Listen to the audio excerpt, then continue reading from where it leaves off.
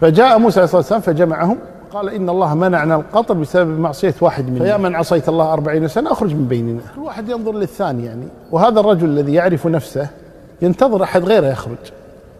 ما خرج أحد فعلم أنه هو المراد. فسكت استحى. يخرج أمام الناس عصيت الله أربعين سنة. فعادها موسى مرة ثانية.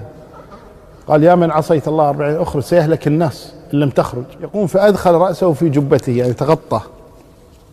ثم دعا الله جل وعلا قال ربي عصيتك أربعين سنة فسترتني. آل يوم تفضحني؟ اليوم تفضحني. اللهم إني تبت إليك. اللهم فاسقنا ولا تفضحني. فتجمع السحاب من كل مكان ونزل المطر. يقول فقال موسى يا رب سقيتنا ولم يخرج. الرجل فقال الله جل وعلا لموسى يا موسى إنما سقيتكم بالذي منعتكم به. فقال موسى ربي أرني إياه. قال الله جل وعلا يا موسى عصانا فسترناه أفإن تاب إلينا فضحناه؟